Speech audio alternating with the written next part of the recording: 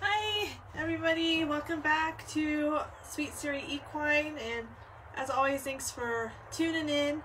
So it's been a while since we've done a live and it's because the weather's been nice and I've been riding but I should film that. So I thought today um, I would film within the trailer because that's I think the best angle that we're gonna get for what I want to show but um, what I've been working on with Charming yesterday was loading the trailer. So we're getting close to the show season and he's gonna have to um, go for trailer rides. And he's been on one um, his long haul from Missouri to Montana and we left this um, back of the trailer just open for him but um, when you're trailering more than one horse that's not an option. At least I don't want it to be for their safety. So uh, I need to teach him to load in the trailer come in here and let me shut him in this um, divider here like this. So this is where they stand and with it shut and I need him to be able to come in here um, on his own because I don't like to be in the trailer with them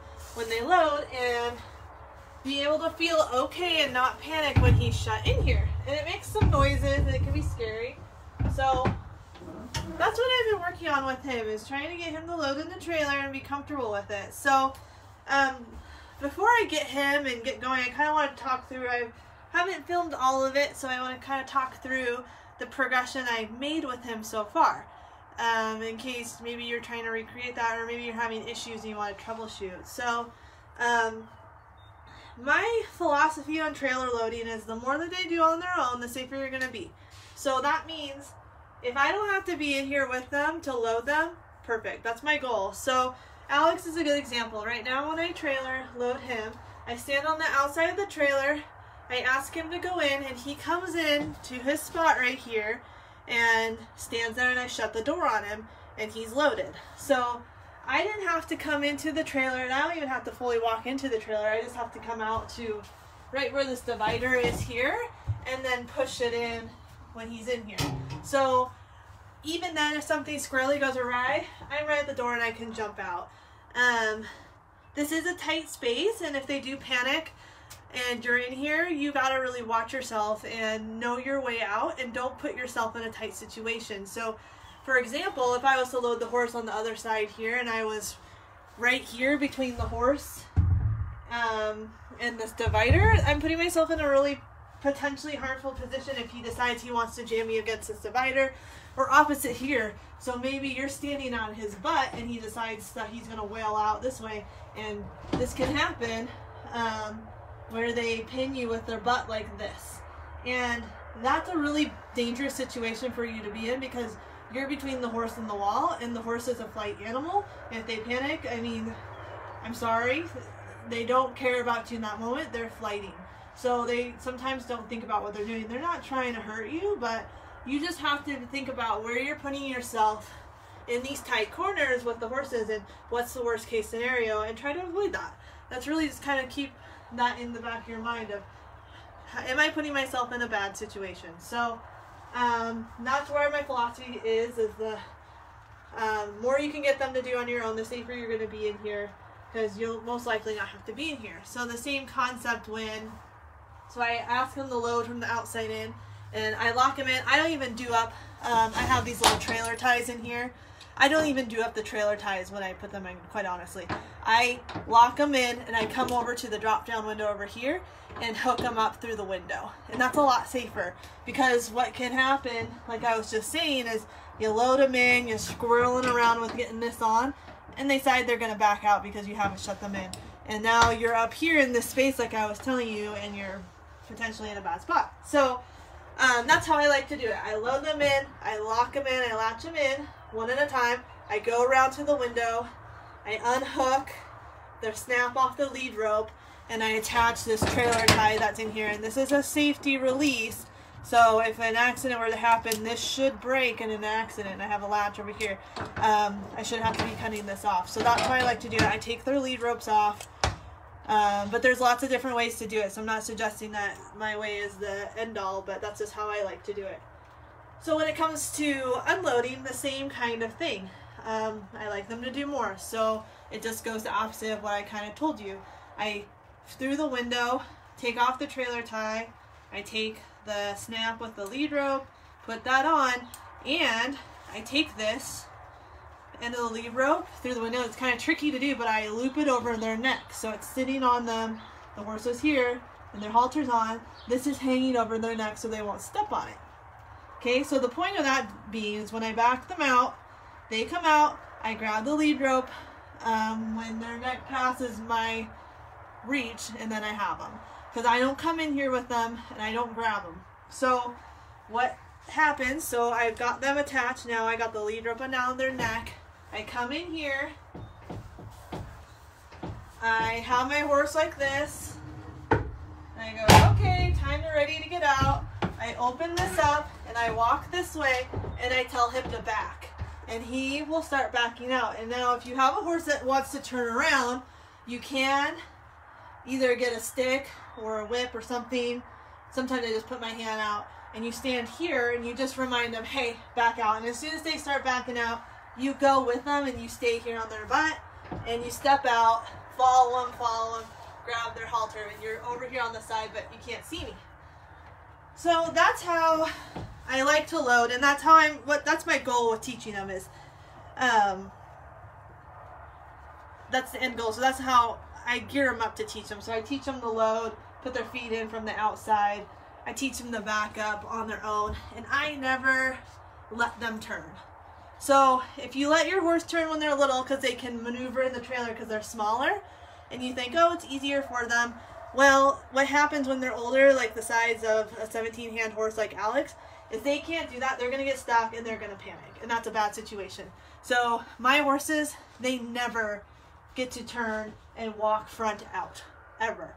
They always back up. So that's just another thing when you're teaching babies. It's really easy just to let them, oh, good boy, you got on the trailer, and now we can just walk off because that's easier for you. Because when they back off, if you don't have a ramp on here, it can be scary because they're having to take a big step that they can't see.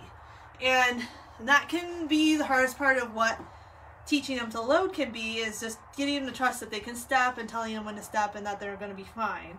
So it's tempting to say, good, you got on, now you don't want to back off because you're scared. You got to just let them back off and figure it out. So to start trailer loading, say you have a horse that's never done or you have one that's hard to load. If I have one that's hard to load, I just start over again. I start, I treat them as if they are a brand new colt that doesn't know what they're doing. So it all starts on the ground before you ever start trailer loading, you need to teach them some things before you start asking to do. So the things that you teach them are when I have your lead rope on, your halter on, and I like to do this with a little dressage whip just because it's smaller and easier to handle, but I say, this is my horse, I teach them with my arm up, arm up with the whip, go forward, and I'll tap them, go forward, that means go forward. They need to be able to lead. You need to be able to back them up. Um, what else? If they are troublesome, you might teach them to be able to move their hindquarters with your stick.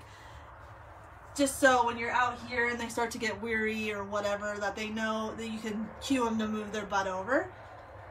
So start with just your basic groundwork before you start ever loading them. And if you have some kind of equipment around in your barn or um, in your garage, even like a you know like a wood block or something that they can step up onto, that's a really good progression. I just progressed to the trailer because I don't have like a wood block thing. I could find that, but um, that is a nice way. I taught Alex that way because the barn we are at had one. And you teach them to step up onto something first before the trailer is ever um, brought into that picture. So you just teach them, okay, go forward, put your front feet up. Um, sometimes you get all their feet up and then back them off of it. And that's a really good way to teach them that concept of if you don't have a ramp, a ramp makes things a little bit easier. Um, but that teaches them, okay, this means step up. I put my front feet on this thing. So with Charming, I didn't use a wood block. I just taught them from here, standing outside, go forward, tap, tap. Can you put your feet up? And it starts really slow. So it took me, I would say, a good solid seven days of consistent back to back every day working with Charmy to get him to put all four feet in this trailer. Not even walking up to where you're stand, seeing me stand here, all four feet in the trailer back here. Okay? So it's a slow progression. And the slower you take it with them, the more comfortable they're going to be. Because you want this place, this trailer, to be a relaxing place. Out there, that could be a different story. That could be hard. You might have to walk around if you're going to be difficult to get in. But in here, there's food right behind you. You can't see. There's hay. Um, I'll usually do treats in my pocket and put treats up here for them so it promotes them to come all the way in. Treat them, treat them, treat them. This is a really cool place to be. This is a comfortable place to be, and we're not stressed out to be in here. And when you're first starting, do not ever pull on them to keep them in. If they feel the need, they need to back out, let them back out. So even if it's one foot there, don't pull on your horse to say, no, stay here if they're deciding they want to leave. Instead, act like you cued it. Ask, like, act like you cued them to back up. So what I mean is sometimes you'll get a horse that comes in, they want to back out, they come in, and Alex was like this. It took a long time. Come in, come out, come in, come out, come in, come out. And it's really tempting just to be like, once they're in, just to be like, hold them in, hold them here, stay here, you're in the trailer. Yes, I got you in the trailer. And then they start, and then you hold them, and they panic, and they throw their head up. And this is a lower ceiling. They can hurt themselves. And two, you don't want them to feel trapped in here. So I'm talking back to that comfort level. If they know how to get out of this and they're worried about it in the very beginning, if they know they can get out, they know they can get out, then they feel better about it once you put them in. The more and more you put them in, they're like, oh, this is fine. Okay, I know how to get out. I know how to get out on my own. So, back to teaching them. So, Charming's first day, all I wanted him to do was be able to send him up to the trailer, not even put a foot in, sniff the ground. Sniff it, be curious about it, sniff this outside door. And he did that. And he also put his front foot in because horses, when they're curious, will paw at something. And he did that. And he put his first foot in. And that was our first day. And these sessions don't have to be long. I think it was like 15, 20 minutes a day, something to that effect. The next day, front foot in. Put your front foot in. He did that. Now ask for two. Ask for two feet. And that was the second day. We got two feet on the trailer right here. Okay? And I think the next day, that's where we landed too. So day three was still just front feet in the trailer. He was pretty unsure about it. Day day four, I think it was the same effect. I told you it took seven days, and it wasn't until the sixth and seventh day that I got all um, all feet in. So fourth day, front two feet in, and towards the end of the session, I think he put his back third leg on and that's pretty good. And I just mark those milestones, and I don't just stop there like, okay, you put two front end feet and you're you're good to go. I make them do it a couple times, and then I say, okay, we're done. I don't drill it; they're babies. And a scared horse too. I don't drill it into them. So um, on the sixth day, him load up, front feet on, back feet, all of them are on. Great. And now you have to teach them the backing out, and that's what can be worrisome. So teaching the back out, telling him to step when his back foot is about to go off that ledge so he has some kind of cue that that is coming for him. So that's where I left it about a month or two ago. Now I've come back to it because we are going to trailer soon and I want to practice doing trailers rides. So I want to get him in. I want to be able to shut this divider. I want to get him hooked up and then eventually I want to take him for a short little trip down the road. Um, do a couple of those before we go and commit to the long haul because I just really want him to be comfortable and it does take some time. So what I started yesterday and what's a sparked this video is to start loading him again. So yesterday um, I started fresh. I didn't know how much you remember of it, so I was going to be happy if he just got his four feet in here, right? I wasn't going to work on shutting this door on him quite yet. I just wanted him to remember, okay, what's this about? What are we going to do? So yesterday I got him all the way up. He willingly came all the way up here a couple times, backed out. It was good. He kind of hit his butt on here and that startled him a little bit, but he knows now, what was kind of cool is that when he did get worried, he goes, oh yeah, I just back out. And it wasn't a scary thing at all. So he knows how to get out. Um, he knows how to get in. And that's kind of where I'm going to start today. So I'm working towards getting him in and loaded here. And I might need um, Nathan to come help me or another person to come help me hold him here because I think he still kind of um, needs some comfort and not just being totally left alone. So what we'll do is I'll get him loaded here and once he's comfortable and maybe if he's really good I can shut this on my own with him and shutting this. But if not, I'll get um, a helper to come out and stand on this window on the other side that you can't see and when I get him up here, hand him off and let them pet him and let them pet him and let me walk out and start messing with shutting this on you know? And then once you get them shut in, other than, and they're feeling comfortable, um, that's kind of it. You know, you, you've gotten it done. You've gotten them there. So you just got to practice that over and over and over and over again to where, one, they're comfortable, and two, you can do it without being in the trailer with them. So that's my goal. Um, I do have to walk into the trailer right now with Charmy. He'll only put his two front feet up there by himself with me out here. He will come in the trailer if I lead him in. So I'm not too picky at the moment about that because he is smaller, but I will eventually get him loading in here all by himself. But I also just don't want to drill that too hard into him. I want him just to feel comfortable walking up and in. So that's where we're going to start today. Um, I'll show a couple loads since this is already going a little bit long because I'm jabbing a lot. But um, let me go get him and I'll kind of show the first couple of um, load ins. And you can't really see it all that well, but um, we'll go get him and do that. So be right there, or be right back.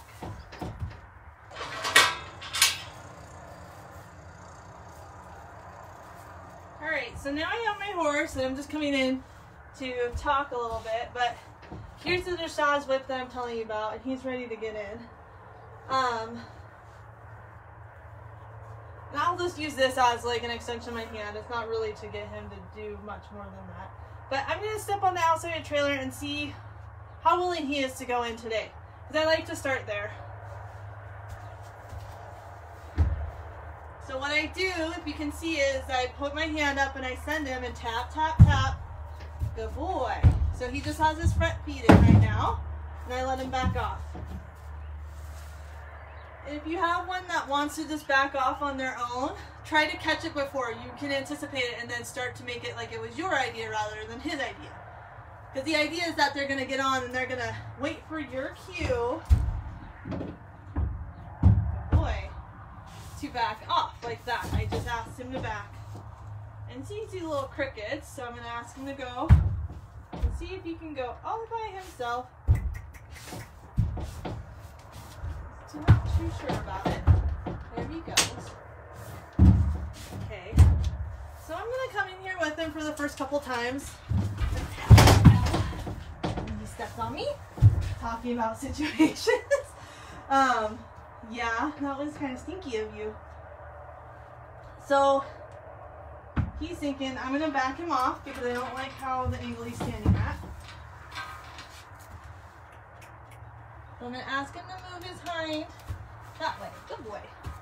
I'm going to ask him to load. And all four legs. Good boy. Now I want him to stand here. Don't want him to quite angle yet. So to stand here. I'm going to treat him. And he's not overly worried. If they're really worried, they're going to back off right away. That's how Alex was. He's getting more comfortable every day. He's a little worried. He's like, okay. Let me check this out. Cool. And now I'm going to ask him back,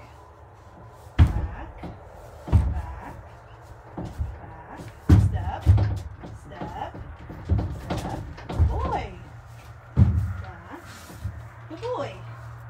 So now he wants to come back on, and that's cool. I'm to let him think about that for a minute. He walked on nicely, so now let's ask him again. That was a little less graceful, and that's kind of how it goes. He's trying to figure out. It's hard. the best way to get his feet in there. And so sometimes he jumps on and whatever, you're trying whatever way you need to go on. They'll eventually be a little bit more graceful. Um, yeah, so now he's on here. Let's give him some pets. He wants some treats and that's good. He means he's willing to eat, it means he's comfortable, not so anxious. let him stand here for a little bit. So I'm not actually asking him to come up here and tie. If he wants to do that, I'm gonna take it. But I doubt, like, this is a weird thing that I have here, so that might be funky. But um, just let him stand here. Get used to it, because that's what they're gonna do in a horse trailer. Is they're just gonna stand here and eat some food. And he's not asking to back out. Like, I'll if he wants to back out, I'll let him back out. Now we're getting the lick, and that's great. Yeah, it's a good job. Alright, so now I'm to ask him to back out. So same thing, back. And now he's getting worried about having to back off the back. So I'm just to do one step at a time and say, okay, it's okay. But he's getting worried about that backing up. If you can kind of see back here, I don't know quite what the angle looks like, but he's starting to do this when he's anticipating that drop. So I'll just ask him slow, back, back. Oh, that's scary. Back, step, there. There you go. You just gotta do it over and over again. So that's the basics of where we go. Um, so we're gonna do that a few more times. I'll save you the time of watching that, but um, hopefully that's helpful. And if you have other questions, um, or if you want to see Alex loading, because he is the golden child, he knows how to do it, um, we'll show that. So as always, thanks for watching, and if this video helped you anyway, give it a like, or if you have any requests, leave a comment below. Thank you.